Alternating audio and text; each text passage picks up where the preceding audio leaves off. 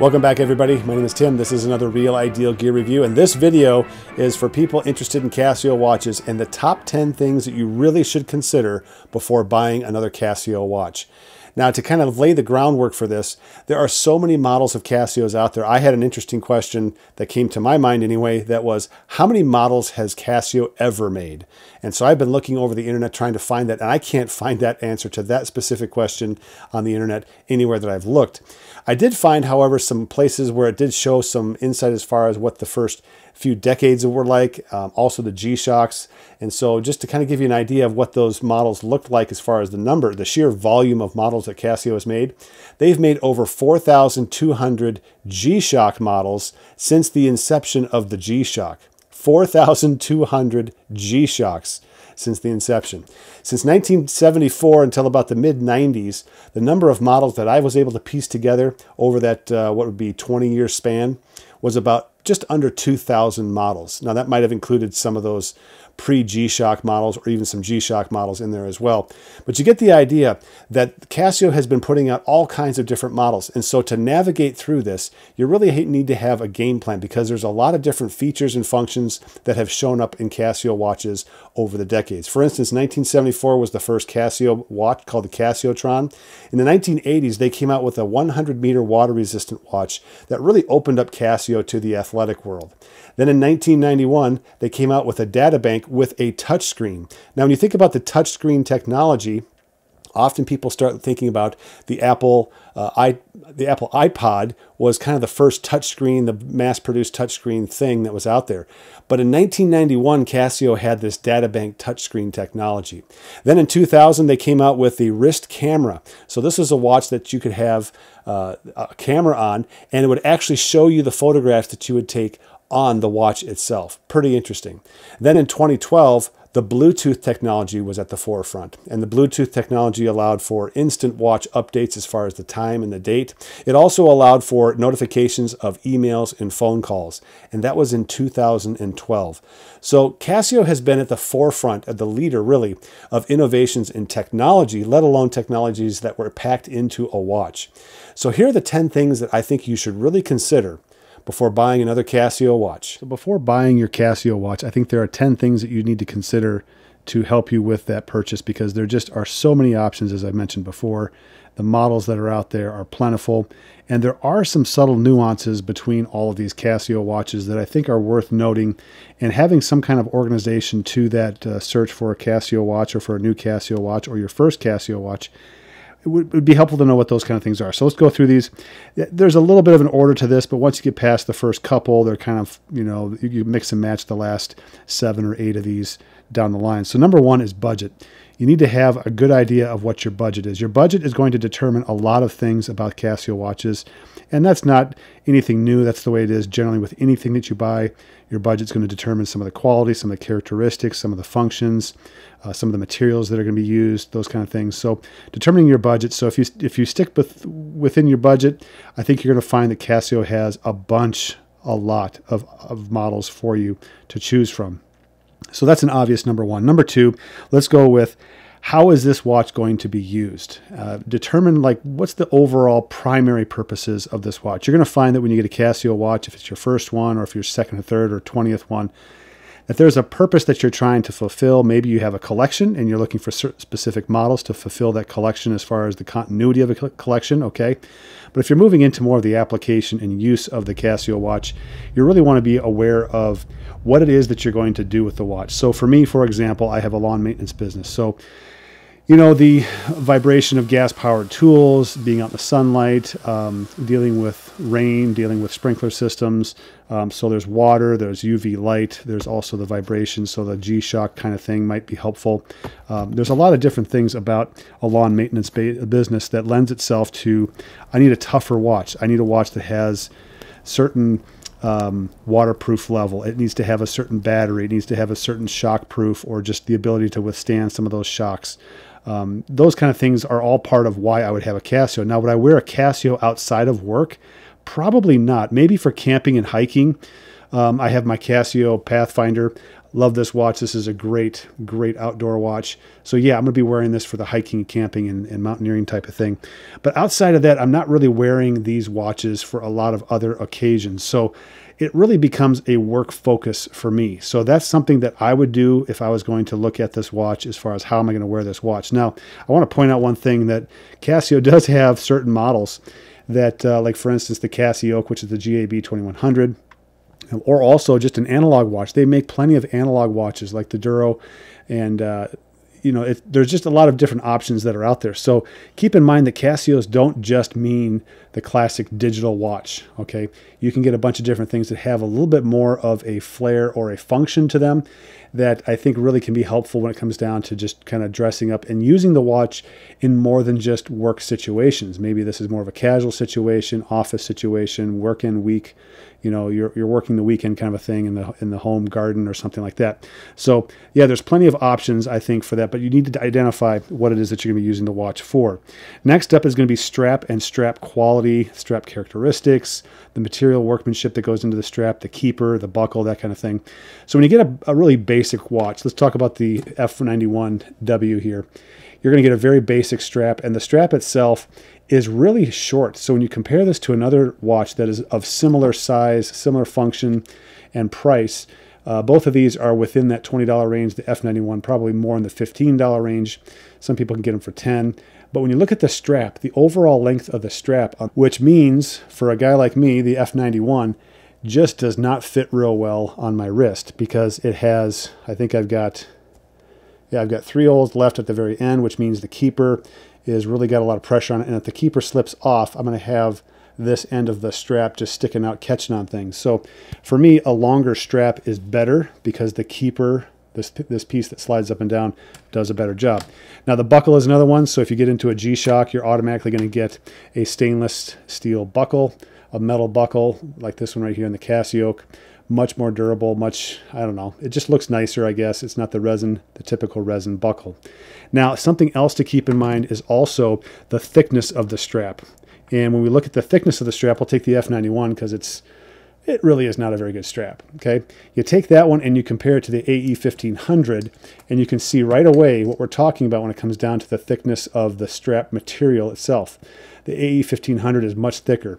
Now you compare that to something like the Pathfinder, and this watch is definitely not cheap, but you can see also just the thickness that you get from the Pathfinder, the 6600Y. Okay, now this is also a true rubber strap. I mean, this is a very supple, very, very comfortable strap. Awesome when it comes down to wearing that that particular watch. So the strap, there's a lot of things to consider. Um, the holes on the strap for Casio, these are all basically the same spacing in between the holes. And the common complaint, or at least the complaint that I have commonly, is that these holes um, provide a too tight, slightly too tight, slightly too loose. Um, or if you're lucky and you get the watch to fit right away, it'll fit right away. Um, but that's just the way they are with Casios. And frankly, there's so many other companies that use the exact same spacing on their strap that this is nothing new. All right. Next up, we're going to talk about the size of the watch itself. So you have like the F201, or let's talk about the W217. All right. So this would be like the upgraded version of the F91. Upgraded as far as size goes, the light, a lot of different things. The strap itself, it's a longer strap, a much better strap overall. Um, but the size of the case is going to be something that will help determine like the aesthetic, what it looks like on your wrist. So for me, this is a much better fit than would be the F91. So that's the aesthetic side of it. The other thing too is that when you get into a larger style watch, you're going to have to worry a little bit about the height off the wrist. So it's not just the diameter or the width of the watch across this way. You're going to have to worry about, not worry, but you have to think about the height off the wrist. So you get something like the AE 1500. You get a lot more height off the wrist than say, oh, let's pick the other square that's up here, or the other G-Shock that's up here, the square. And when you look at the height off the wrist on these two watches, okay, yeah, that's a significant difference, which means that the square is not going to catch on things like your shirt sleeve, long sleeve shirts, uh, jacket uh, sleeves that have kind of a tight cuff to them.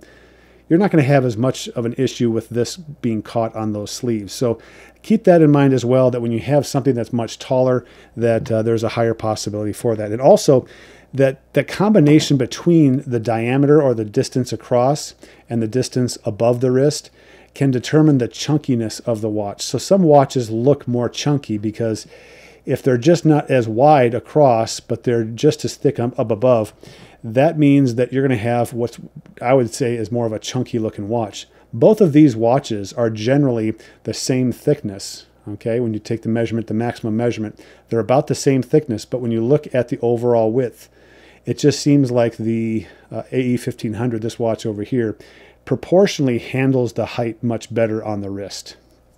Okay, and you can see that when you put this on the wrist, that it just feels like, looks like it sticks up higher on the wrist versus the AE 1500 doesn't have that same proportional or disproportional feel to it because it's just wider. So that's something else that the size can play into. Next up is legibility. And the classic, and I'm going to bring the AE 1500 up here because this is the most legible watch that's out here. But another one, which is a G Shock, the GD Fit 350. Both of these are basically the same general uh, diameter across the, the case. So when you look at these two watches, they're about the same width from 9 o'clock to 3 o'clock. Okay. But when you look at the time, the, the legibility of these two watches is far different between these two watches. The AE 1500 is much easier to read at a greater distance than would be the GD 350, the G-Shock over here on the right. And that's because where the plate where they place the time, which is in the center of the dial right here, they make the maximum use of the maximum width of the circle or of the of circular case, which is right there in the middle. But when you place the time in the lower portion of a circle, you start to squeeze things together on here and it just becomes a little more crowded. The numbers get a little bit smaller, so the legibility suffers as a result. So keep that in mind when it comes down to the legibility of the watch. Take a look at where the time is located on the watch. Here's another example. This is the CA53, the classic calculator watch. All right, now this is a rectangular shape, but you can just see what legibility can do for a watch as far as readability. So if you have reading glasses, I highly recommend that you put this higher on the list as far as overall rankings or just the concern that you have as you're looking through a bunch of these Casio watches. Next, we're going to be talking about the water resistance rating. Now, water resistance, for instance, this is the DBC32, the data bank, um, zero water resistance. So technically, according to Casio, you don't even want to get this splashed wet. You don't want to wash your hands with this watch on.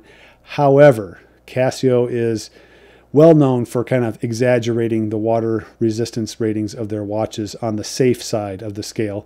So you could probably get a little water on here. It's not a huge deal, but I would not regularly get this water or this watch wet with water. Something else, uh, when you have a water resistant rating watch like this, you do get to have, like, say, for instance, the hand washing, the splashing, that, that kind of thing. It'll handle that. And I've heard more and more, like the F91, people take these out swimming. There's not a big issue with it. But you also have to kind of weigh the cost of the watch versus um, you know the the value that it brings to you as far as the use goes. So if it's a high cost watch, you know the value is really high for you. You may may not want to risk taking that watch out and swimming with it if it's only water resistant rated. So, but there's other water resistant ratings out here. You get 50 meters, you get 100 meters. Uh, let's see here. The 201 is this is also water resistant. Um, and they generally say this on the case, but you had the, the uh, what is it, the DW290? Yeah, the DW290 you know, this one's 200 meters of water resistance. It's not a G-Shock, but it's dang close to being a G-Shock. A lot of the G-Shocks are 100 meters or 200 meters of water resistance, but you get the idea that water resistance is kind of an important thing because if you're doing something like, for instance, for what I do, um, I plan on my watches getting a little bit sprinkled on, wet, whether it's becoming from or coming from the sprinkler systems, from being rained on, uh, you know, reaching into a, a, bush that's really wet and it just soaks your arm, that kind of thing. So I really do have a look see on these watches and make sure they have at least 50 meters of water resistance for the work that I do. That goes back to determining what kind of work that you're you're uh, going to do with the watch. Next up is power source. So all of these digital watches are electronic, all right, and so you're going to have a battery of some sort, whether that's a battery be, uh, that stores electricity from a solar cell that transfers the uh, electricity from the sun into a, uh, basically a storage battery, or you have the typical two, five year battery, whatever it happens to be, that uh, many of these watches will have, like the CA53, all these calculator watches, the 201. Okay, these are all battery powered watches. Now, the G Shock watches, if you get a G Shock, you can get a 10 year battery out of the G Shock. Sometimes, though, you don't have to get a G Shock and get a 10 year battery. This is the W736. It has a 10 year battery. Let's see if I can get this. There you go. So you can see it's a 10 year battery. It also has 100 meters of water resistance. All right. And, you know, when it comes down to shock resistance and that whole thing that the G Shock gets, because it's a 10 year battery, 10 meter drop, and then 100 meters of water resistance, that's the general outline for a G Shock. This watch would probably get almost all of those things. Now, the, the drop resistance the shock resistance is probably one it would not pass necessarily, although I have torture tested some of these watches and they come through in flying colors, still working. And I've done that with the F200, which is the cousin of this F201, and uh, it did just fine. So I don't really have an issue with these watches when it comes down to shock resistance under normal circumstances for the typical consumer. Okay, but when it comes down to the battery itself, you know, you have to ask yourself like, how long of a battery do I really want to have in the in the watch? I would highly recommend going five years and higher a five year battery, 10 year battery, or tough solar. When you get into that two year battery, you never know how long the watch has been on the shelf you know in the store or in the warehouse when they ship it out to you but when you get a five year battery you're probably guaranteed at least three to four years of battery life for sure especially if you're kind of heavy user of the light stopwatches and those kind of things when you get into that 10 year battery or the tough solar um, they're kind of interchangeable. Once you get a watch with a 10 year battery like this W736, you're probably going to, the watch will probably not last as long as the battery if you're using this for work or if you're kind of, you know, hard on the watch. Um, some people are not hard on the watch and they change the battery and they get another 10 years out of this thing. So it's totally up to you. But at the same time, I don't think a 10 year battery is significantly, hugely different from a tough solar, uh, tough solar cell. Now, the tough solar cell, there's a bunch of these that are out here. The Casio is one, the Pathfinder is another one, and then we also have the Square. These are all tough solar. Um, these are also radio controlled. That's another function that's in there. But um, you just have a low maintenance. You just really don't have to worry about it. I have, I've had a Pathfinder now, um, the model for the past 20, 35 years. Is it 35 years now? Close to 30 years. And I've had one watch where the battery lasted for more than 15 years. It's still going and it hasn't been changed out. So uh, these batteries in these tough solar watches, uh, they last quite a while. Next up is function. When we're looking at these watches, we want to look at the basic functions of the Casio watch. Let's go back to the most popular watch that's out there by sales. Almost 4 million of these watches are sold annually. So that you know, 4 million, 4 million, like that's an incredible number. So this watch has the alarm, it has the stopwatch, and that's it. Very basic functions. That's the most basic that I've ever seen in a Casio. And frankly, there's not a lot that you can't do with the alarm that the, the timer does because the alarm is a timer. The stopwatch is great. Dual time, yeah, I don't know. You can get dual time in there, but but as far as basic function, the F91 covers the bases on that. You can get into something like a calculator watch, the CA53. This is the watch that was uh, used in the Back to the Future movie. Um, and you have the different functions as well. You have the calculator function, you have an alarm, you have dual time, and stopwatch. What you don't have on here is the timer. And so for me, what I like to have the basics as far as a basic functioning watch. Let's go back to the AE1500 because I really like this watch. Um, you're, you're going to have the alarm and you're going to have multiple alarms. I love having multiple alarms. Ideally, I want to be able to program the alarm. So when I hold this down here and I go up here, I can actually program the day of the month and the month. And I can have this alarm go off one time on that day at that particular time. So to me, those are great features for uh, an alarm. Having multiple alarms, I think, is great. Having five alarms is awesome. Um, so just something to think about when it comes down to your alarm functions. Timer is another one.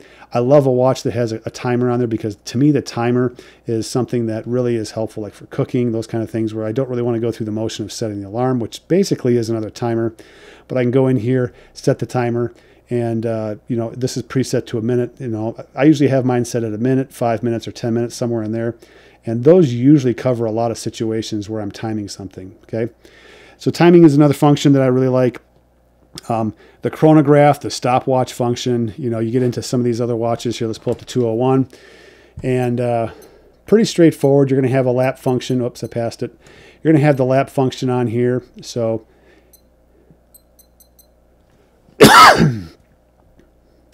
let's see here. There's the split. Okay.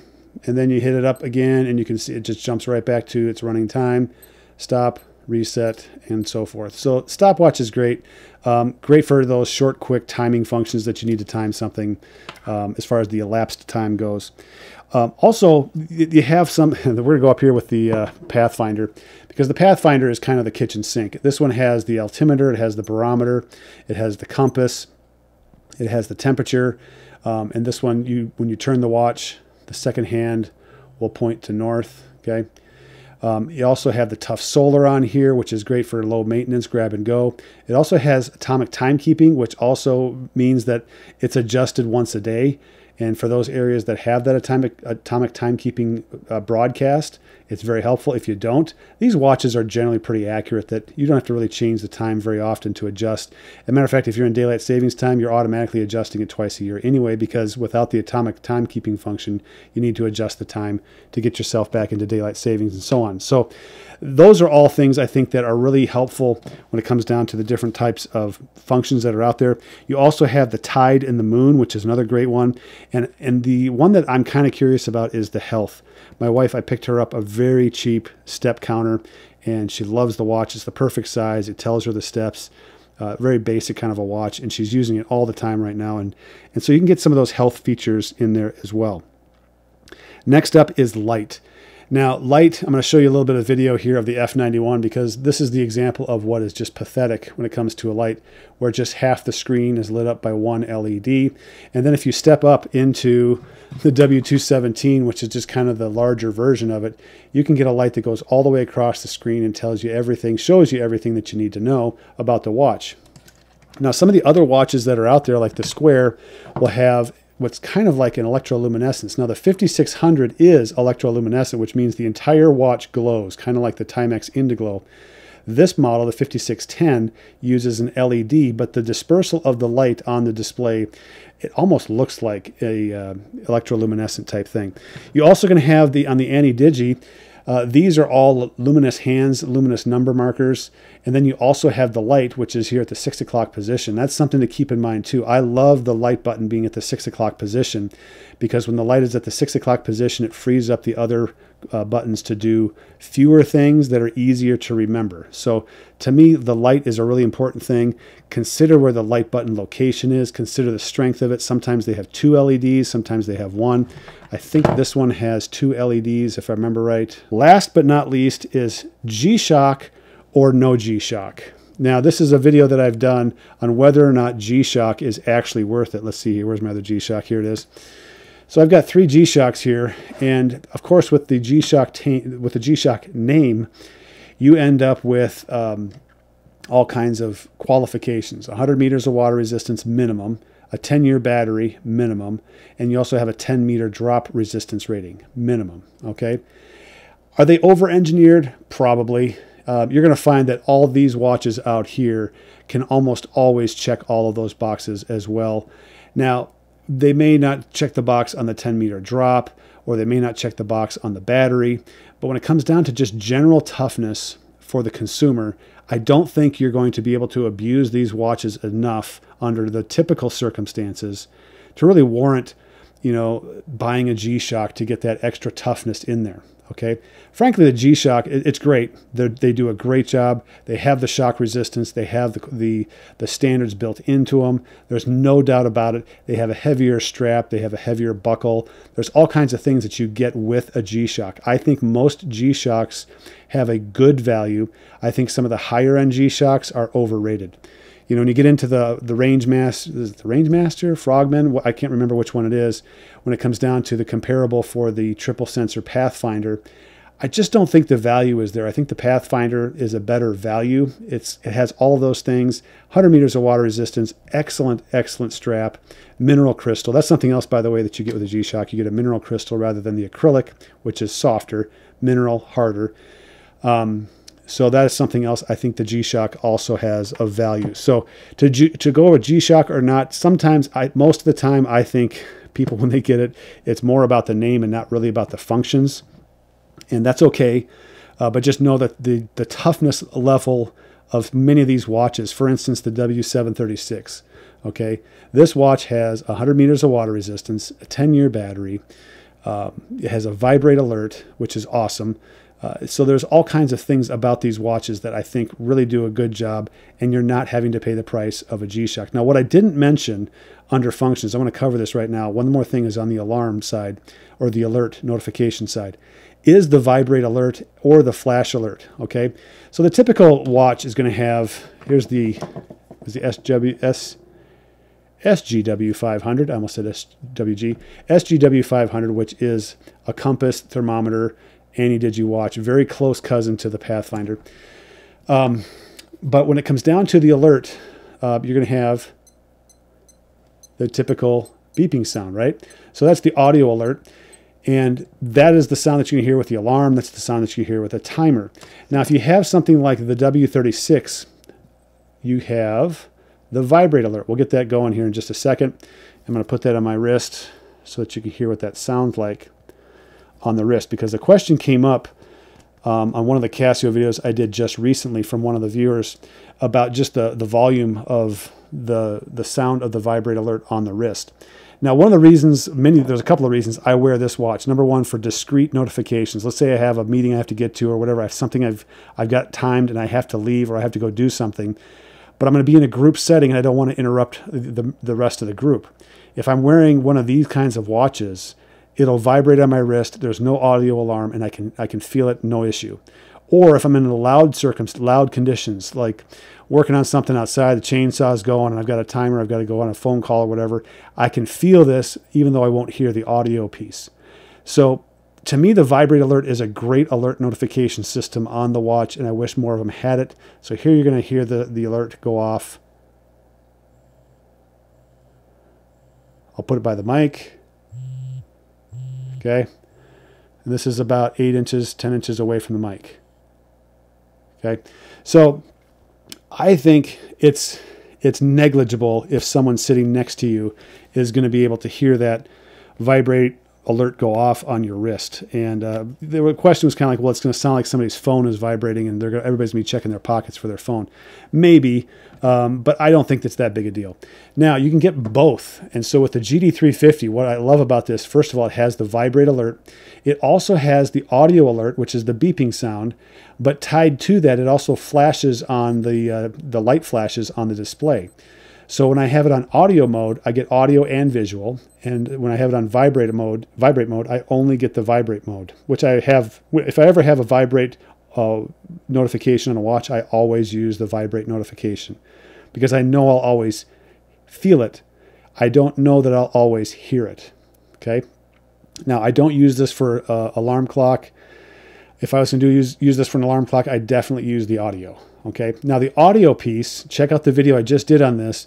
When you get into G-Shocks or higher water resistant rated watches, you're going to have a softer audio alarm. So you're not going to hear it as well. So keep that in mind too, so that when you have a watch like the Casio, the F91, real basic five or uh, 15 to 10 dollar watch, something like that, has a very loud beep. Okay, but you get into a G-Shock, and it's much quieter. Okay. So that's the tendency. And then check out the video. It's, it's fairly short, but it just talks about that. And I graphed the results that I have on a decibel test, which was really raw, but it was a, a comparison between the watches. And you can see that when it comes down to the, the alarm notification, I think that's a really important piece. I didn't mention it with the functions, but it's something to consider overall with the watch when you're looking for something that's maybe more discreet, or if you're looking for something that's louder. Maybe it is your alarm clock on uh, travel. You know, if you're going traveling, um, you want to make sure you have an alarm clock that you are familiar with. And so, you know, you take this watch. This, by the way, actually, this was the loudest watch. Believe it or not, out of that test, it was the DBC 32 was the loudest watch. Yeah. And, you know, you're kind of splitting hairs a little bit, you know, loud compared to the other ones. The other ones weren't that much quieter, but this was the loudest one. So there you go. There's the top 10 list of the things that you really should consider before buying a Casio watch. I hope this is helpful. Put in the comments down below what you think of this as far as ideas go. Um, what Casio watches are you interested in getting, that kind of thing. This is just kind of an open ended question for everybody just to kind of add, like, what do you think of these characteristics? What do you think of some of those Casio watches out there for a first time or second time Casio purchase? So, there you go. My name's Tim. There's been another Real Ideal Gear review. Check out my website, realidealgear.com, for some of these kind of watches that I have for sale. Some of these watches will also have a flashlight paired up with it because, you know, it's a cheaper watch, cheaper flashlight. You get kind of a two for one deal. Um, but I also have other analog watches out there that I've tested. So check out the website, realidealgear.com, and we'll catch you guys next time.